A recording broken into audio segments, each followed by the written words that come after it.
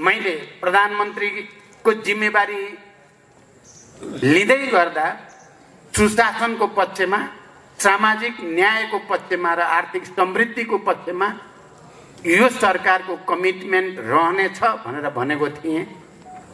अहिले धेरै क्षेत्रमा धेरै चिजमा सुधार पक्कै भएको छ।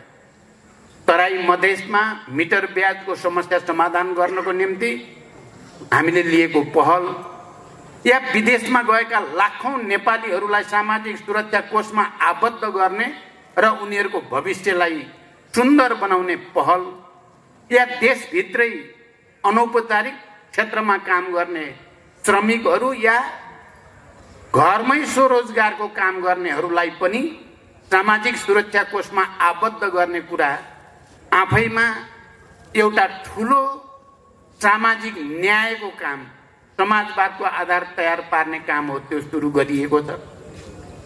र यस्ता थुप्रै।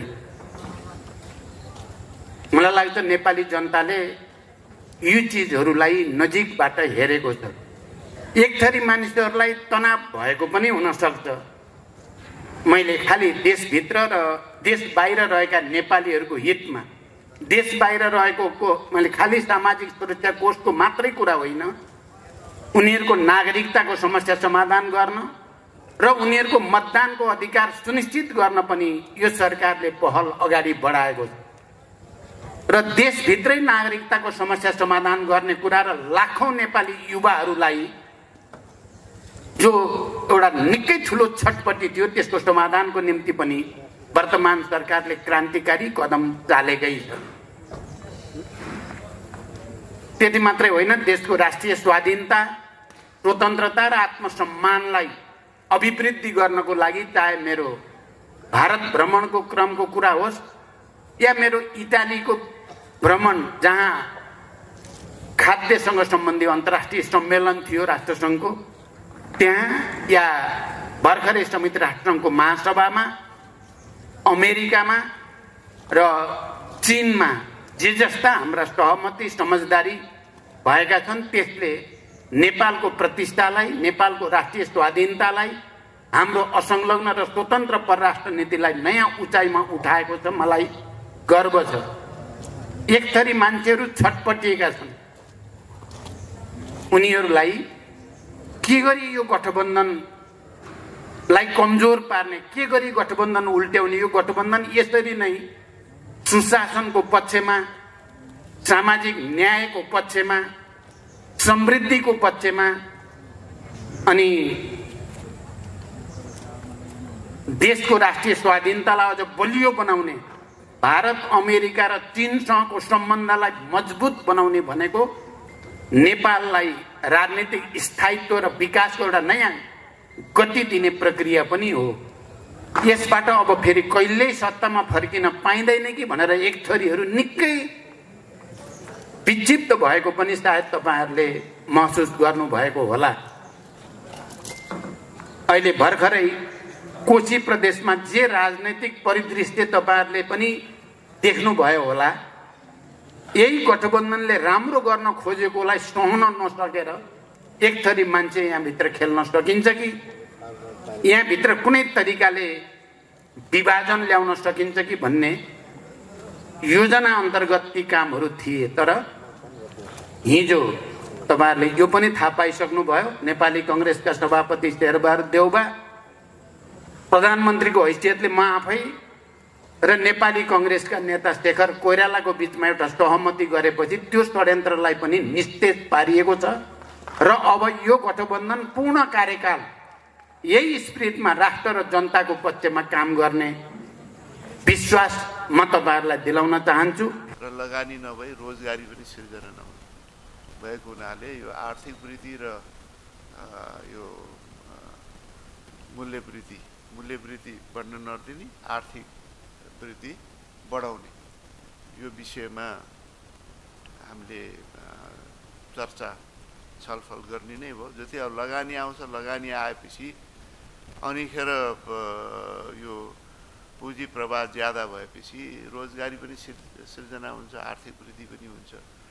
र यो निजी लगानी बढाउने विषयमा पनि हामीले चाहिँ यो द्विपक्षीय वार्ताहरूमा पनि यो कोरियन गभर्मेन्टको सहयोग मात्र होइन उहाँहरूसँग हामीले चाहिँ जुन कोरियाका बाट निजी लगानी बढाउन उत्सुकता देखिएको छ।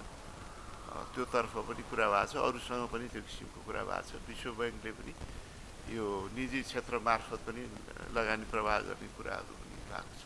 यो आर्थिक मन्दीबाट त संसारै गुज्रिया छ। नेपाल मात्रै अवभाग होइन। तर हामीले यो आर्थिक सुधारका कुराहरू चाहिँ बजेट प्रस्ताव मार्फत पनि धेरै गरेका छौँ। र मौद्रिक नीति पनि त्यसलाई चाहिँ सहज बनाउने खाले। नै मौद्रिक नीति अगाडि बढ्नु पर्दछ त्यही किसिमको प्रस्ताव आउनु पर्दछ भनेर पटक पटक हामीले चाहिँ कुरा राख्दै आएको र राष्ट्र ब्याङ्कको तर्फबाट पनि कतिपय त्यो किसिमको पहल भएको कतिपय आउँदा दिनमा पनि सम्बोधन गर्नुपर्ने विषय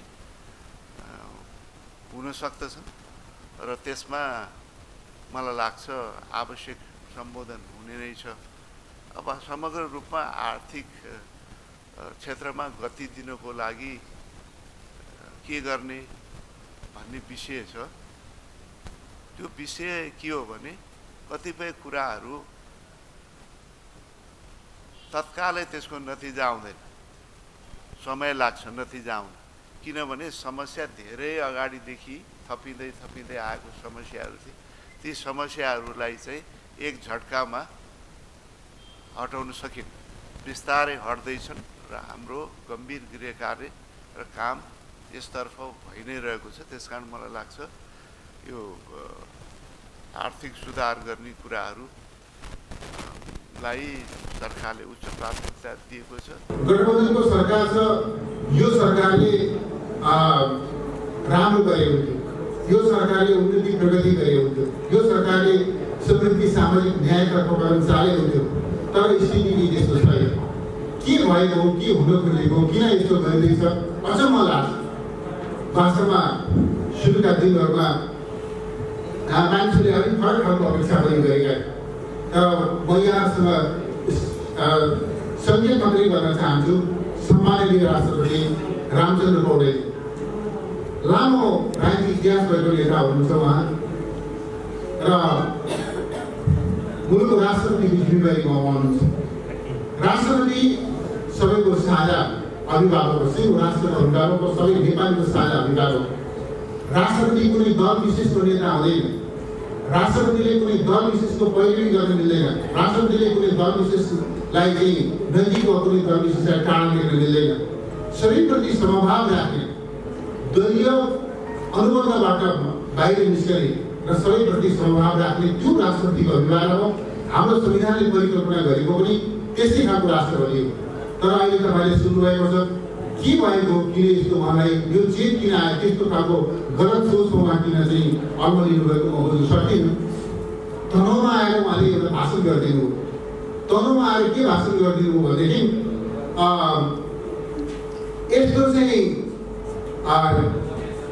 फरक खालको परिस्थिति आइरहेको बेलामा पनि अर्को खालको लहर आइरहेको बेलामा पनि रुख चिन्हको पक्षमा नेपाली कङ्ग्रेसको पक्षमा मतदान गरेर तपाईँले चाहिँ काङ्ग्रेसका जोगौँ हामीले काम गरेको तपाईँलाई धन्यवाद छ। एउटा राष्ट्रपतिले यस्तो भाषण गर्न मिल्दैन। यो राष्ट्रपतिको भजियो भरेलासँग उहाँको जिम्मेवारीसँग बिल्कुल मेल खाने कुरा हो। यस खालको एउटा राष्ट्रपति कुनै दलीय अनुबन्धबाट बाहिर निस्केर आम नेपालीको साझा अभिभावक हुनु पर्दैन उहाँले त्यस खालको अभिव्यक्ति गर्नुभएको छ? राष्ट्रपतिले राष्ट्रपतिको भूमिकामा बस्नुपर्छ हामीले राष्ट्रपतिलाई उहाँको भर्यालाका हिसाबले भूमिकाका हिसाबले सम्मान गर्न साझै प्लेटफर्महरूबाट राष्ट्रपतिको आलोचना गर्ने परिस्थिति निर्माण नहोस् भन्ने हामी चाहन्छौँ। अहिले पनि म भन्न चाहन्छु यो बडा दसैँ राष्ट्रपतिलाई सद्बुद्धि दियोस्।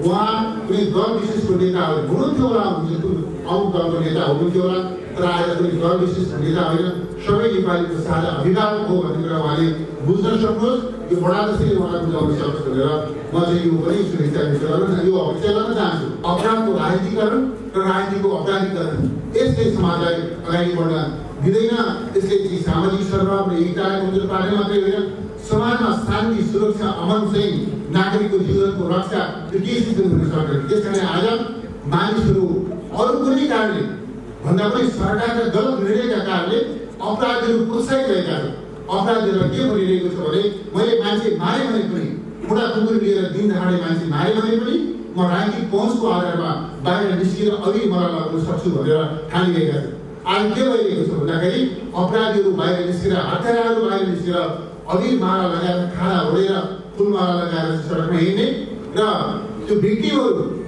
जो जो मारिएको मारि जो मारिएका थिए उनका परिवारका सदस्यहरू भयातुर भएर के भने बस्नुपर्ने यस खालको स्थिति सृजना गर्दैछ शान्ति सुरक्षाको अवस्था यस्तो छ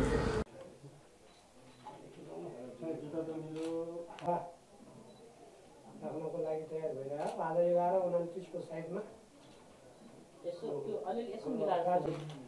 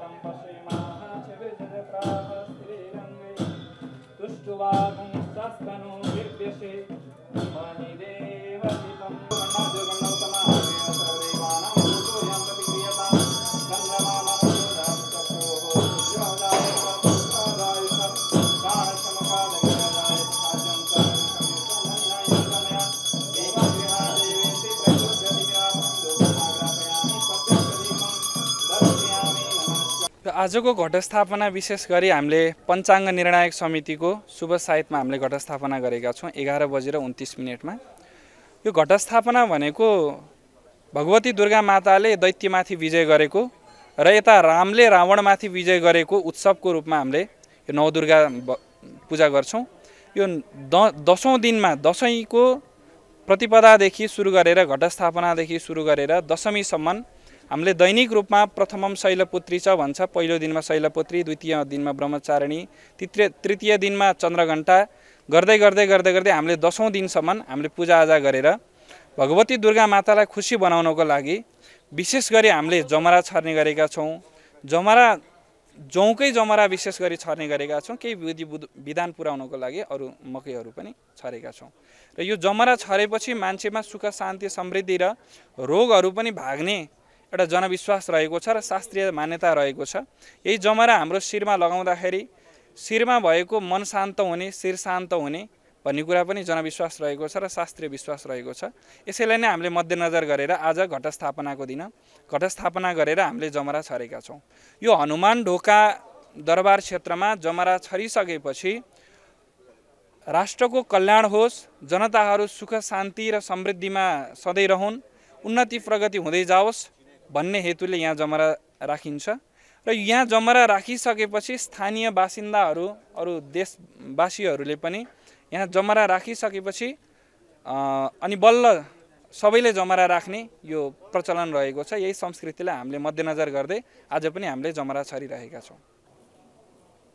ॐ कायेन वाचा बुद्ध्यात्मना वा प्रकृतिक्षवावत् करोमि यद्यत् सकलं परस्मै नारायणाय समर्पये तत्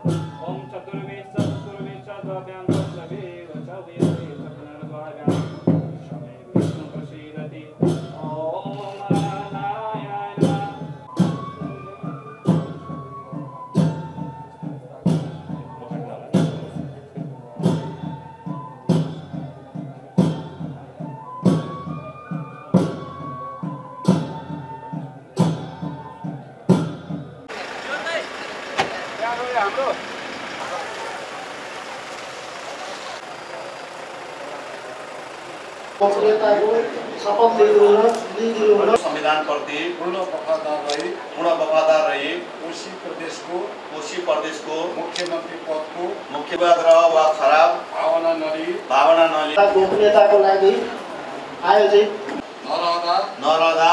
जुनसुकै अवस्थामा परशुराम खापुङज्यूको अनुमतिले गर्दा पाए पालना गर्दा बाहेक अरू अवस्था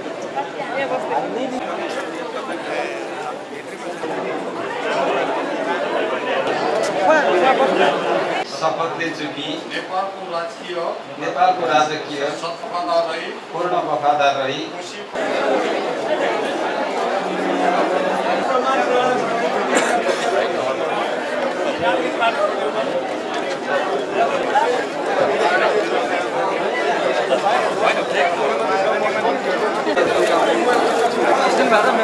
अबको सरकारको प्राथमिकता भनेको भौतिक विकास र त्यो सँगसँगै हामीले सबै कुरा चाहिँ भौतिक विकासलाई मात्रै बढी प्राथमिकता दिन्छौँ मानवीय विकासको पनि हामी सुरु गर्छौँ विश्वासको मत हामी तिस दिनभित्रमा लिन्छौँ संविधानले दिएको परिधिभित्र विश्वासको मत लिन्छौँ अनि यो सरकारलाई विस्तार गर्ने प्रयास के हुन्छ अब यो अहिले सरकार भर्खर के भन्छ भने तपाईँलाई सानो आकारमा गरेको छ त्यसको लागि हामीले ओपन गरेको छौँ। अघिल्लो मुख्यमन्त्रीले पनि सहमतिको सरकारका लागि पटक पटक आह्वान गर्नुभएकै हो। त्यस कारणले गर्दाखेरि त्यो चाहिँ सहमतिको सरकारको अहिले त एक सय अडसठी धारा पाँच अन्तर्गत त। सहमतिको सरकार अहिले सहमतिकै मुख्यमन्त्री पनि हो। त्यस कारणले गर्दा त्यसलाई सहमतिको सरकारलाई जहिले खुला रहन्छ। प्रदेशभित्र रहेको तिरानब्बे मान्यज्यूहरूको समर्थन छ। त्यो उहाँ सब उहाँलाई पनि सरकारमा ल्याउनुहुन्छ? तिरानब्बेजना सरकारमा त ल्याउनलाई अप्ठ्यारो हुन्छ तर के भन्छ सरकारको आवश्यक मन्त्रालय जतिको जतिमा मन्त्रीज्यूहरू आउन सक् आउनुहुन्छ। कोशी प्रदेशमा मध्य प्रदेशमा र धेरै ठाउँहरूमा आज जसरी सामाजिक सद्भावहरू भड्काएर नेपालको सार्वसत्तालाई कमजोर पार्ने नेपालको संविधान च्यात्ने खेलहरू भएको छ यसको विपक्षमा एमाले काङ्ग्रेससहितको एउटा सहकार्यको कुरालाई अगाडि बढाउन खोजेको मात्रै हो योभन्दा अरू डिजिटलबाट गर्ने भन्ने कुरा हो। तर हामीले नेपालमा पनि प्रतिनिधिहरूलाई अलिकति ल्याउँछौँ। म हन्ड्रेड पर्सेन्ट अनलाइन गर्दाखेरि नेपालमा आउने प्रतिनिधिहरूको अलिकति कमी हुन्छ है भन्ने उठले विधानले नै के गरिदियो भनेदेखि ए, यहाँ आएर पनि अलिक केही भोट हाल्नुपर्ने र उम्मेदवार विशेष गरी उम्मेदवार र प्रस्तावक दुईजना समर्थक दुईजनालाई भौतिक रूपमा उपस्थित भएर शनाखत गर्नुपर्ने भन्ने विधानले बतायो। त्यो कारणले बाह्र तारिक र तेह्र तारिक चौध तारिक चाहिँ हामीले अनलाइन पनि फर्म चाहिँ लियौँ तर ती आएका फर्महरूलाई चाहिँ आएर फेरि पन्ध्र सोह्र तारिकमा तिनीहरूलाई शनाखत गर्नुपर्ने भनेर अनलाइन लियौँ। तर भौतिक रूपमा गर्ने मान्छेले बाह्रदेखि कन्टिन्यू दर्ता गर्न पाइन्थ्यो तर बाह्रमा खासै त्यही आएन। बाह्रमा चौध पन्ध्र सोह्रजना आयो। तेह्रमा पनि एकदम कम आयो। हिजो चार पाँचवटा आएछ धेरै आउँदै आने हिजो किनभने शनिबार मान्छेहरू बाहिर गएको देखियो। आज म्याक्सिमम् अहिले तपाईँको अहिले बिहानभरिमै चाहिँ अस्ति हिजो दिनभरि बाजती भइसकेको छ। आज जति हुनुपर्ने आज हुन्छ भन्नेमा छ भोलिलाई एकदम कम रहन्छ। तर समय चाहिँ हाम्रो भौतिक रूपमा आज र भोलिको चाहिँ भौतिक मात्रै हो। अनलाइन भोटिङ लिँदैनौँ हामी निवेदन। आज चाहिँ म्याक्सिमम् हुने हामीले आकलन गरेका छौँ र भोलि यसको एक बजेसम्म चाहिँ विधानत चाहिँ हाम्रो नियमावलीले चाहिँ भोलि एक बजीसम्म भन्ने छ। तर एक बजीसम्म भोलि चाहिँ सकेसम्म शनाखत मात्रै गर्ने उम्मेदवारी आज सक्ने भन्ने जोडमा हामी निर्वाचन समिति र सचिवालय पनि लागेको छ। किनभने त्यसले काम गर्ने शैली हुन्छ। अनि भोलि बेलुकै फेरि तपाईँ प्रक्रिया कुरा गर्नुभन्दा हामी त्यही एक बजे प्रकाशन प्रथम नामावली प्रकाशन गरेर मतदाता नामावली प्रका के अरे उम्मेदवारी प्रकाशन गरेर तिन घन्टा मात्रै त्यो दाबी विरोध दिएर बेलुकै हामीले अन्तिम उम्मेदवारी प्रकाशन गर्नु छ कि? त्यस हुनाले हामी भोलि एक बजीभित्रमा शनाखत कार्य सक्ने प्लान हो। भोलि उम्मेदवारी एकदम मिनिमम दिने त्यही हिसाबले काम भइरहेछ होला जस्तो कति जति पदमा चाहिँ पद हाम्रो सतसट्ठी पदहरूमा चुनाव निर्वाचन सतसट्ठी पदमा। अब त्यसमा हामीले आकलन गरेको डेढ सय उम्मेदवारीको उम्मेदवारी पर्छ भन्ने हाम्रो आकलन हो। डबल जस्तै बढी नै हुन्छ भन्ने छ।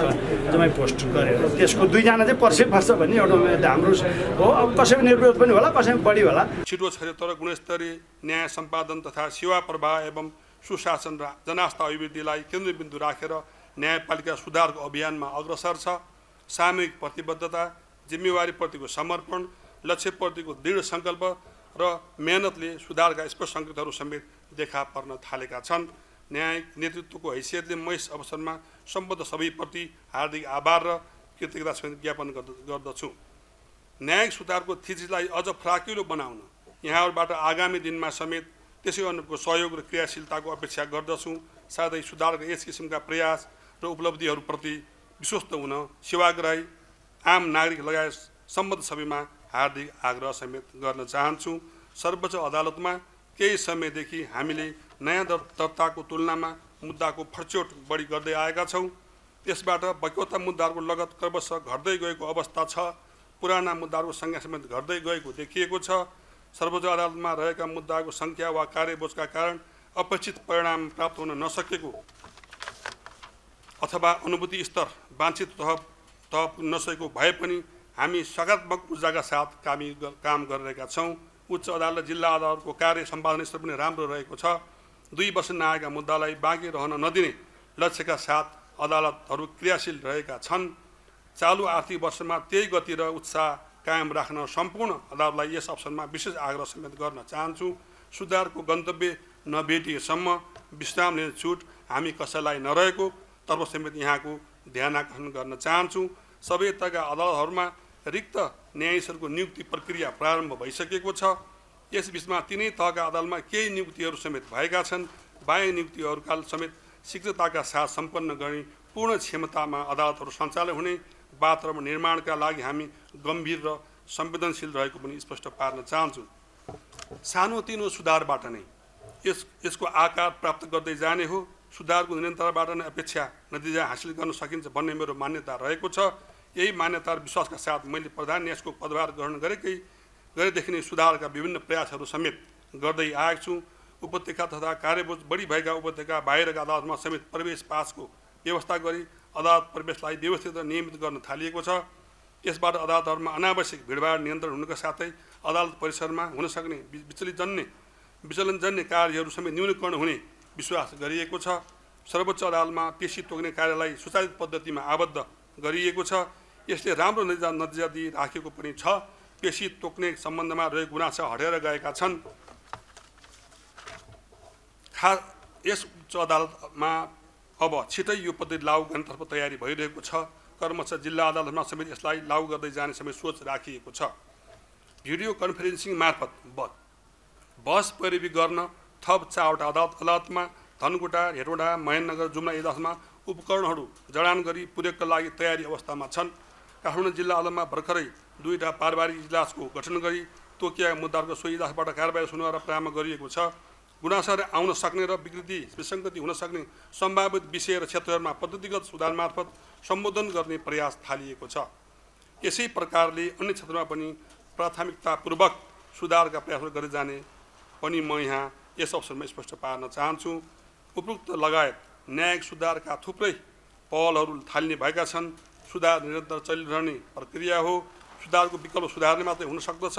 मूलत न्यायपालिकाले भोग्नु परेको समस्या चुनौती तथा यसप्रतिको चासो सरोकार अपेक्षाहरूलाई केन्द्रबिन्दुमा राखेर सुधारको प्राथमिकीकरण गर्नु सक्नु प्राथमिकीकरण गर्न सक्नुपर्छ भन्ने मलाई लाग्दछ।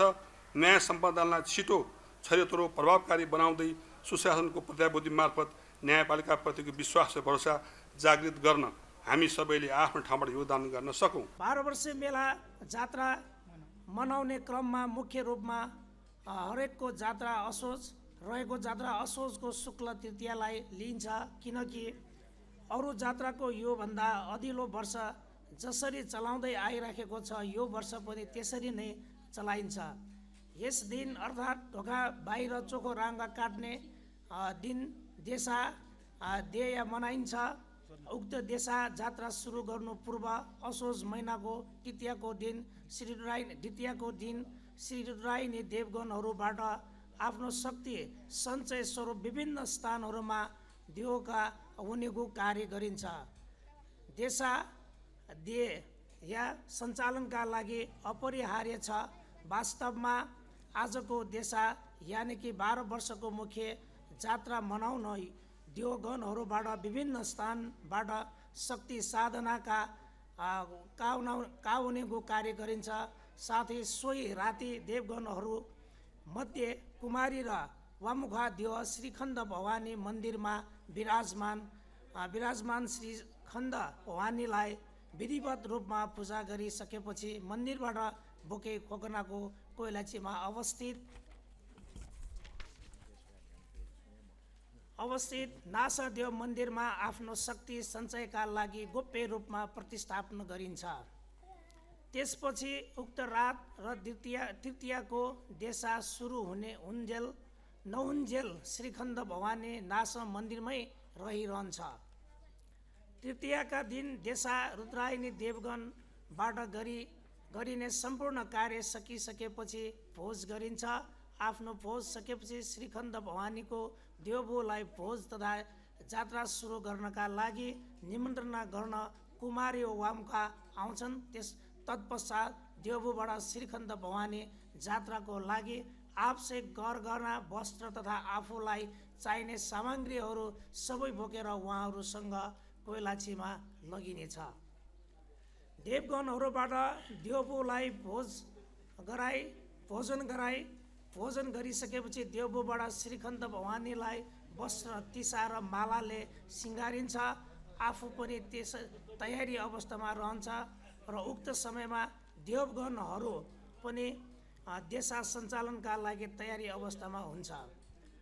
जबसम्म श्रीखण्ड भवानी तयारी अवस्थामा रहँदैन जात्रा पनि सुरु गरिँदैन यसकारण खोकनाको बाह्र वर्षे जात्रा श्री जात्रामा श्रीखण्ड भवानीको अहम भूमिका रहेको कुरा यहाँबाट प्रष्ट हुन्छ।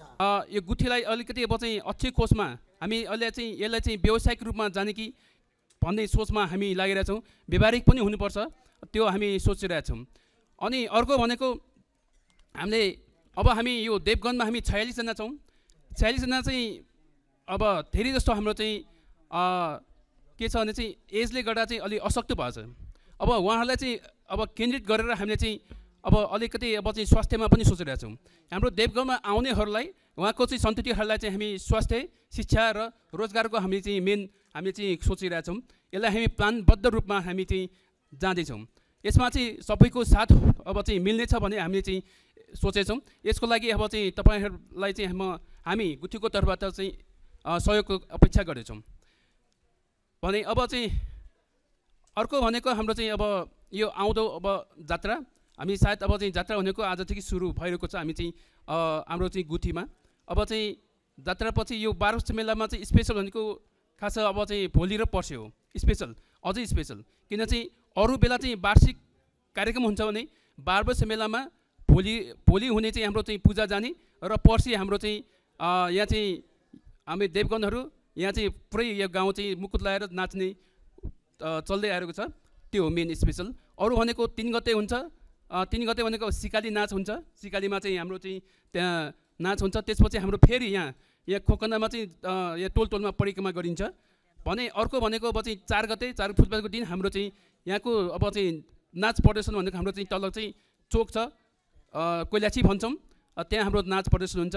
त्यसपछि हाम्रो चाहिँ लगभग हाम्रो चाहिँ हाम्रो जात्रा सकेको हुन्छ। त्यही भएर चाहिँ अब सबै मानवहरूलाई हाम्रो जात्रामा चाहिँ निमन्त्रणा गर्दछौँ। नेपाल केही भएको छैन? केही भनेको छैन? भन्दैन यो सतीको श्राप परेको देश हो भन्ने अनि एमालेको मान्छेमा उभिएर काङ्ग्रेसले यत्रो वर्ष सरकार चलायो के गर्यो भनेर सोधिदिनु। तपाईँलाई पनि सजिलो छ। अनि काङ्ग्रेसकाले पनि एमालेतिर पर्साइदिन सजिलो छ। मैले आज भनेर जानुपर्छ बैसठी त्रिसठीको आन्दोलन पछाडि घर घरमा आफै हिसाब गर्ने हो भने सरकारमा नौ पटक पुगेको रहेछ नेकपा एमाले काङ्ग्रेस आठ पटक पुगेको रहेछ। हामी कोही कम बेसी पुगेका छैनौँ। अहिले देशमा राम्रो भएको छ यसको जिम्मेवारी पनि साझा रूपमा लिने हो। के बिग्रिएको छ त्यसको पनि जिम्मेवारी। र कसैले भन्दै गर्दा पुरानाका दिन गए भन्दै गर्दा पुरानो चाहिँ धर्मशास्त्र पनि हो पुरानो चाहिँ हाम्रा यो धरती पनि हो। पुरानो भन्ने कुराको समय त्यति सजिलै जाँदैन। नयाँ भन्नेले पनि नयाँ मितिले भनेर हुँदैन। विश्व प्रकाश संसदमा पहिलोपटक छ नयाँ हो तर नयाँ म अरूभन्दा के भिन्न हो भन्ने मैले पुष्टि गर्नुपर्छ। कुनै दलले पनि कुनै व्यक्तिले पनि नयाँ जन्म मितिले भनेर पुग्दैन। नयाँ चाहिँ प्रवृत्तिमा नयाँ चाहिँ संस्कृतिमा पाउँछ। पुरानोको महत्त्व कति छ भन्ने भारतको एउटा कविले लेखेका छन्। कवि कभार सोच्दा हूँ कि पुरानै दोस्तों पर कोही मुकदमा ठोक दो कभी कभार सोचता हूँ कि पुराने दोस्तों पर कोई मुकदमा ठोक दूँ ताकि तारिक के बहाने अदालत मुलाकात तो हुई ओहो स्कुल पढ्दै गरेका ती साथीहरू कहाँ तिनलाई कहीँ मुद्दा हालिदिनु पाएदेखि यो बुढेसकालको बेलामा अदालतमा त भेट हुन्थ्यो भनेर तिमीले लेखेको छ। कति दिउँसो कुरा छ। त्यसैले तपाईँको चाहिँ पुरानो भन्ने कुरा भन्ने बित्तिकै कुनै पुराना राजनीतिक दल हामी आफैमा विधायी पनि हुनु। र हामी फेरि छौँ र कहीँ न कहीँ पार्लियामेन्टमा शक्तिमा तागतमा कहीँमा सरकारमा छौँ भनिराखेर फेरि हामी के पनि हुँदैन भन्दाखेरि भने सदैव आफैमा जीवन्त पनि हुँदैन। त्यसैले एउटाले अर्कोलाई आलोचना गर्न छ। अस्ति केपी कमरेडले आरामले भनिदिनु काङ्ग्रेस बत्तिस सिटेको पछि लागेको छ भन्नु हो त सही हो बत्तिस उहाँले बनाएर हिँड्नु हामीले सँगै लिएर हिँड्यौँ। पुस दस गते उहाँले बनाउनु अब आज म कसरी भनौँ कि तपाईँ विराटनगरमा छ कि आठ सिटका पछि काङ्ग्रेसको लागि लाग्नुको पछि म भन्ने मैले भन्यो भनेर नगरिदिनु होला नि। ब्यालेटबाट आएकालाई त सहरमा अङ्कमाल गर्न सक्छौँ भने ब्यालेटबाट आएकालाई त झन् हृदय खोलेर स्वागत गर्छौँ। नयाँ दलको ऊर्जासँगै नयाँ संस्कृति पनि होस्। हामीले पनि नयाँ संस्कृतिलाई बनाएर जाउँ अनि यति मात्रै सोचेर जाउँ यो देश बनेको छैन केही बनेको छैन होइन। केही भएको छ। धेरै गर्न बाँकी छ। केही बनेको छ। धेरै बनाउन बाँकी छ बनाउन सकिन्छ। बनाउने हो यही लोकतान्त्रिक गणतन्त्रको बाटोबाट बनाउने हो। हामीले बनाउने हो कोही सत्ता कोही प्रतिपक्ष गरेर एक आपसमा आलोचना गर्दै साथ दिँदै अङ्कमान गर्दै यो देशलाई बनाउने हो। यो देश बन्छ बनाउन सकिन्छ। यो देश सतीको श्राप परेको देश होइन। यो भगवान् गौतम बुद्धको आशीर्वाद प्राप्त देश हो भन्ने कुरा चाहिँ तपाईँ हामीले बुझ्नु पर्ने अझै मैले त के भन्नुपर्छ भने एमाले जतिको उदार को होला भन्नुपर्छ? किनभने किनभने अरू धेरै भन्नै पर्दैन मङ्सिर चारमा साथीहरूले राम्रोसँग माया नगरेको भए त उदार नभएको भए त विश्व प्रकाश पार्लियामेन्टमा उपस्थिति हुँदैन थियो त्यसको लागि साथीहरूले राम्रोसँग त्यहाँ माया पनि गर्नुभएको छ। ती मायाप्रति म आभारी पनि छु। संविधान अनुसार र सङ्घीय संरचनाको के भन्छ विधिअनुसार सरकार चलाउँछ। कस्तो सहमतिको सरकार हुन्छ कि के हुन्छ? यसमा अरू अरू दलहरू पनि आउँछ। अब अहिले अहिले अहिले त्यो कुरालाई अहिले नलिउँ अहिले हामी चाहिँ अहिले हामी चाहिँ जो जुन के अरे मान्यजीहरूको समर्थनमा सरकार समर्थनमा मुख्यमन्त्री भएको छु उहाँ मान्यजीहरूको के भन्छ नि सल्लाहमा सल्लाहमा सरकार निर्माण हुन्छ।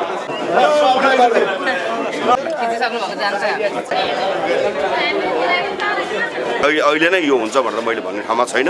नेकपा एमाले चाहिँ नेपाली काङ्ग्रेसको यो पक्षसित अगाडि बढ्न तयार छ र अरू आउने साथीहरूलाई पनि हामी हेर लिएर हिँड्नुपर्छ भन्ने मेरो मान्यता हो हाम्रो मान्यता हो। सिट सङ्ख्याको आधारमा शक्तिको आधारमा नै बाँडफाँड हुने हो।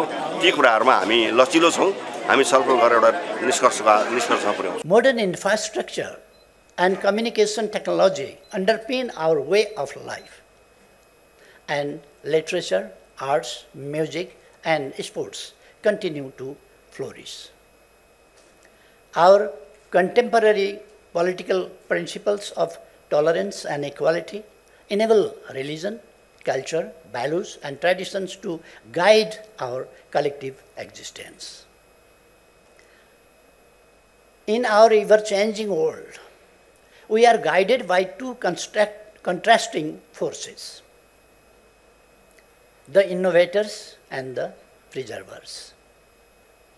Innovators strive for radical change, disrupting existing societies in pursuit of transformation.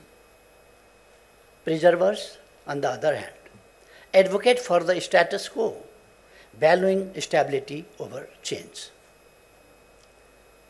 The interplay of these forces can lead to discord and destruction, impeding human progress.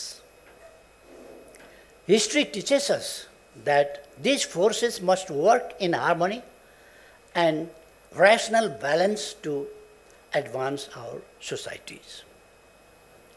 Political parties and their leaders should heed their historical lessons when politics and political parties succumb to narrow mindedness, humanity bears the brunt of sufferings.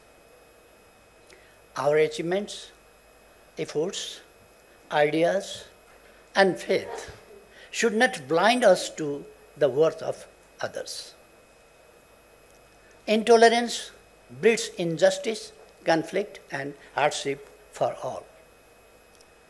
Politics and political parties should avoid these pitfalls, focusing on creating a world that upholds the common good above all.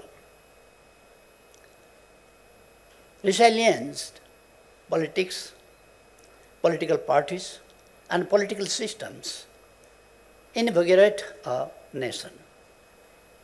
They give rise to effective constitutions, stable institutions, the rule of law, service delivery, and human empowerment.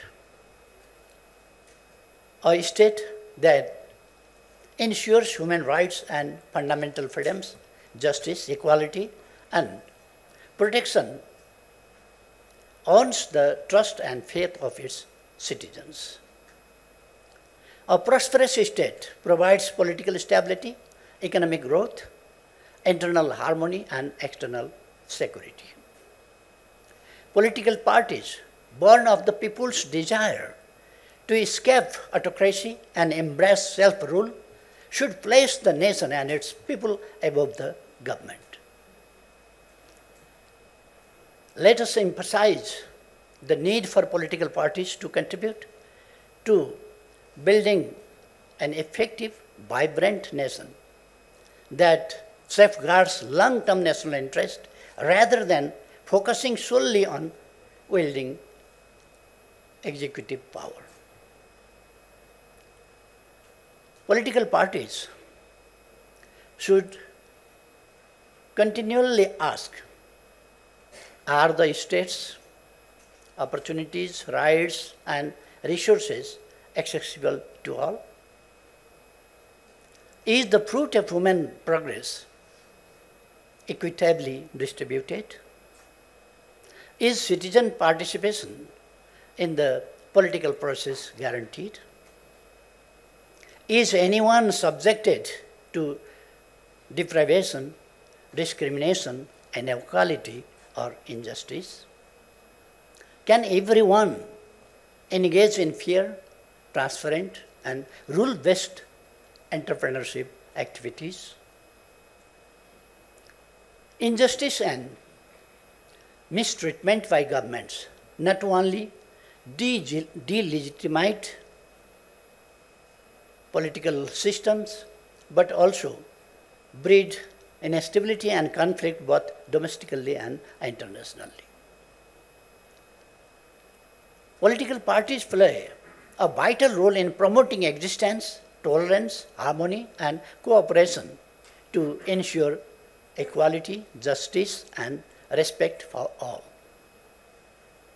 Religion, faith, culture, tradition, ideas, and values from the bedrock form the bedrock of our identities, dignity, and sovereign rights. They can also unite our nations in acceptance and coexistence. Political parties have a pivotal role in weaving these elements into the fabric of humanist societies. In our interconnected world, marked by rapid scientific and technological progress and economic interdependence, we must be mindful of the opportunities and challenges that lie before us.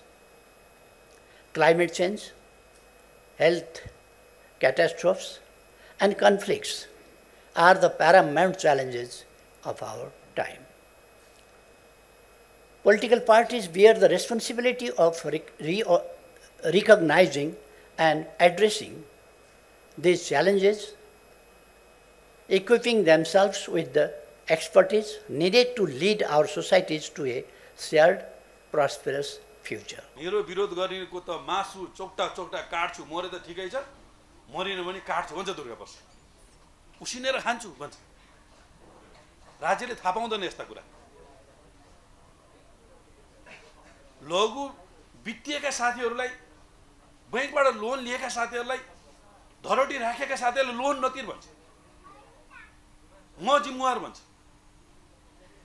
कालो मुसो दल्दै भन्छ। पाँच दिन थुन्ने त हो नि। त्यसपछि म छँदैछु भन्छ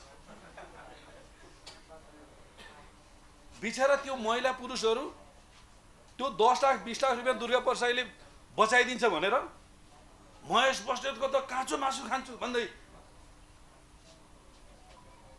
टिकटक र रिलहरूमा उनका उनले बोलेका शब्दहरू भाइरल बनाइन्छ। त्यो बिचरा पाँच लाख रुपियाँ दस लाख रुपियाँ लघु वित्तको छुट गराइदिन्छ। कार्यक्रममा आउँदा दुर्गा प्रसादहरूले दुई चार हजार बलीमा हालिदिन्छन् दुई चार छाक मिठो खानिदिन्छन्। त्योभन्दा बिचराहरूको केही स्वार्थ छैन। त्यो भैँसीले झिङ्गालाई पुच्छरले कहिलेकाहीँ हान्छ त्यो पुच्छरको केही दोष हुँदैन। त्यो दोष भैँसीको हुन्छ। त्यही भएर दसैँ आएपछि मान्छेलाई भैँसी काटिदिन्छ पुच्छर काट्दैन। ती पुच्छरहरूको प्रयोग गरेर आज यत्रो ठुलो संस्थामाथि यत्रो ठुलो पार्टीमाथि जसले लोकतन्त्रको लागि लड्यो विधिको शासनको लागि लड्यो संविधान निर्माणको लागि लड्यो तिनीहरूमाथि चुनौती दिने तिनका नेताहरूमाथि चुनौती दिन्छ। त्यो आरोपले पत्रकार सम्मेलन गरेर भन्छ फलानो फलानोले मलाई हाले गेम सुरु भयो भन्छ। अनि भौतिक संरचनामाथि आक्रमण गर्छ। पार्किङ गरेर राखेको गाडीमा छदम भेषमा आएका व्यक्तिहरूले भौतिक संरचनामाथि आक्रमण गर्छ। के हामीलाई प्रतिरोध जान बाध्य बनाएको हो त? धनकुटामा क्षितिज थेबेर तिनको गाडीले खाएको ढुङ्गा। योगेश भट्टराईको गाडी र योगेश भट्टराईले खाएको ढुङ्गा। केपी ओलीले पटक पटक खाएको ढुङ्गा। महेश बस्नेतहरूमाथि धरानमा गर्न खोजेको आक्रमण। झापामा हामीमाथि गर्न खोजेको आक्रमण। के हामीसँग प्रतिरोधै खोज्या हो त? राष्ट्रिय युवा सङ्घ नेपालको झापाले दुर्गा प्रसाई र पहिचानवादीहरूका कुनै पनि गतिविधि झापामा गर्न नदिने निर्णय गर्यो। के त्यस्तै बाध्य बनाउन आँटेको हो त? हरेक ठाउँमा यिनीहरूको गतिविधिलाई निषेध गर्ने ठाउँमा हामीले पुऱ्याएको हो त? हामीसँग के को दोष? दोष थियो होला भने त सरकारसँग छ होला नि त। माग थियो होला भने त सरकारसँग माग छ होला नि त। बैङ्कको लोन दिने कि नदिने छुट दिने कि के गर्ने धरौटी के गर्ने धितो के गर्ने भन्ने कुराको निर्णय गर्ने ठाउँमा आज हामी छौँ। एक त हामी प्रतिपक्षमा छौँ। त्यहाँ माथि म त सांसद पनि छैन आज। अनेक खालका षड्यन्त्र र जालसाजीको कारणले थोरै भोटले मलाई हराइएको छ। आज उनीहरू हामी विरुद्ध किन केन्द्रित छ किनभने एमाले सैद्धान्तिक रूपमा ठिक ठाउँमा छ तुलनात्मक रूपमा एमालेका नेताहरू अरूभन्दा धेरै असल छन्। अनेक काण्डमा एमालेका नेतालाई फसाउन खोज्यो फसाउन खोज्यो एमालेतिर फस्छ आफ्नै मान्छे। हेर्नु प्रचण्डलाई हैरान। म अनुरोध गर्छु यस्ता अराजक गतिविधिहरू सरकारले नियन्त्रण गर्ने हो यस्ता अराजक व्यक्ति व्यक्तिहरूलाई कानुनी कारवाहीमा ल्याउने हो त्यो कुरा ल्याएन भने हामी डिफेन्स गर्न बाध्य हुन्छौँ। वास्तवमा त्यो एउटा समस्या त पक्कै पनि हो तर पनि हामीले त्यसलाई एउटा सेटलमेन्टमा लगिएको छ र मलाई लाग्छ यसले अन्तत गठबन्धनलाई बलियो हुने ठाउँतिर नै अब अगाडि बढ्छ। आज बिहान मात्रै नेपाली कङ्ग्रेसका सभापति शेरबहादुर देउबाजी म आफै र शेखर कोइरालाको बिचमा एउटा समझदारी बनाएको छौँ। हामी गठबन्धनलाई अझ बलियो बनाउने कुरामा दृढ र स्पष्ट छौँ। र कुनै पनि हालतमा गठबन्धनलाई कमजोर हुन दिइने छैन भन्ने चाहिँ एउटा सहमति भएको छ। र अब चाहिँ अहिले जो कार्कीजी त्यहाँ मुख्यमन्त्री हुनुभएको छ त्यो हामी सबैको पनि मुख्यमन्त्री हुनुभयो। त्यस कारण त्यो समस्या जसरी सोचिया थियो र मिडियामा जसरी चर्चा परिचर्चा भएको थियो अब ल्यान्डिङ हुँदाखेरि त्यसलाई सेफ ल्यान्डिङ गरिएको तर यसले त चिसो पछि होला नि होइन र?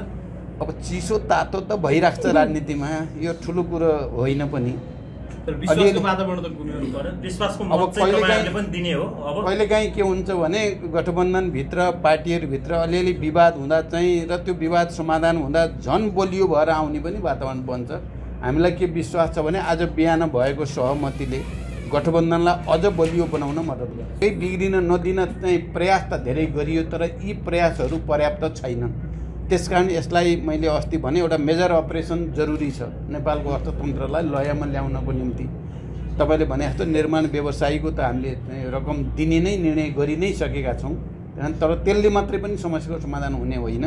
कारण समग्रमा चाहिँ एउटा अपरेसन गर्नको निम्ति अस्ति एफएनसिसिआईले आयोजना गरेकोमा सबै निजी क्षेत्रका पनि सरकारी क्षेत्रका पनि महिलाहरूलाई अगाडि बढाउनै पर्छ।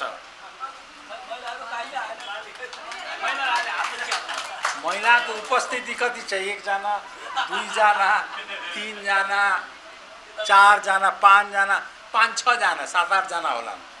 भएन नि यस्तो। महिलाहरूको जहाँ उपस्थिति हुन्छ हेर्दै हेर्नुहोस् त्यहाँ यति धेरै भिड जमा हुन्छ। महिलाहरूलाई आकर्षित गर्नु पर्यो। महिलाहरूलाई अवसर दिनु पर्यो। महिलाहरूलाई अगाडि बढाउनु पर्यो। महिलाको हातमा उनीहरूको हातमा डाडु र पन्यु मात्रै हुन्छ। उनीहरूको हातमा दिनुहोस् त। सत्ता उनीहरूको हातमा दिनुहोस् त। क्या परिवर्तन गरिदिन्छन् उनीहरूले? किनभने उनीहरूले हेर्नुहोस् मैले किन महिला भन्दाखेरि घरको मुली भनेको महिला नै हो। पुरुष त बाहिर काम गरेर आउँछ राति आउँछ थाकेको हुन्छ खाना खाएर सुतिहाल्छ। त्यो घरको छोराछोरीहरूलाई हुर्काउने पढाउने स्कुल पठाउने खाना पकाउने सबै त महिलाहरूले गर्छन्। घरको मुली भनेको महिला हो। महिलाको जुन दिन तपाईँले महिलाहरूको हृदय छुनुहुन्छ तपाईँलाई कसैले हराउन सक्दैन। नेपाली कङ्ग्रेसलाई कसैले पनि हराउन सक्दैन। हरायो भने नेपाली कङ्ग्रेसले आफैले आफूलाई हराउँछ। यो कुरा राम्ररी बुझ्नुहोस्। एकजुट भयो हामी भएको खण्डमा कुनै शक्तिले पनि नेपाली कङ्ग्रेसलाई हराउन सक्दैन।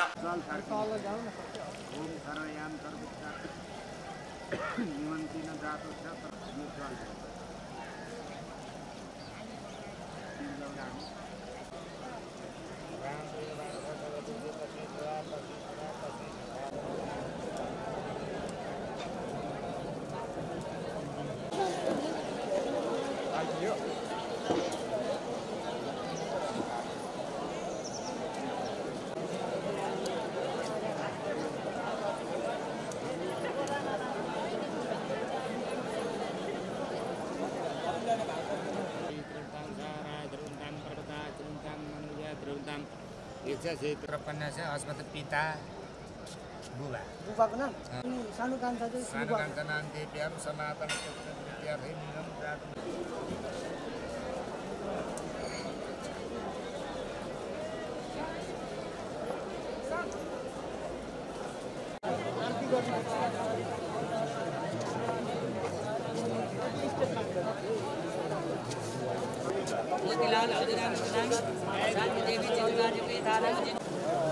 कुमारी नामनी देव्या देत्यादि सापत मात्र सौतिनी आमा छैन छैन